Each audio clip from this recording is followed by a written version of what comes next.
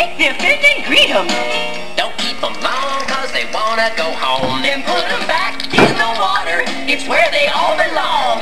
Catch 'em if you can, but release 'em. If I ever catch one, I think I'll keep it. A fish out of water is quite a thing to see. They wiggle and they jiggle, trying to get free. It's not that they don't like us, I think we can agree. They're just trying to get back to where they ought to be.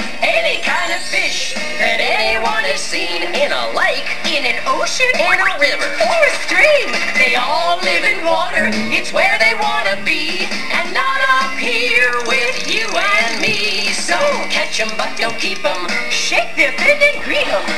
Don't keep 'em long, cause they wanna go home. Then put 'em back in the water. It's where they all belong.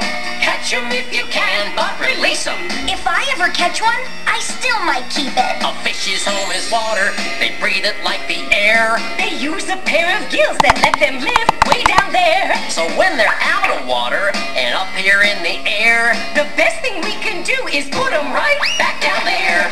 Any kind of fish that anyone has seen, red, yellow, rainbow striped, blue or black or green. they all live in water. It's where they wanna be, and So catch 'em, but don't keep 'em. Shake their fin and greet 'em. Don't keep 'em long, cause they wanna go home. Then put 'em back in the water. It's where they all belong. Catch 'em if you can, but release 'em. Yeah, catch 'em if you can, but release 'em.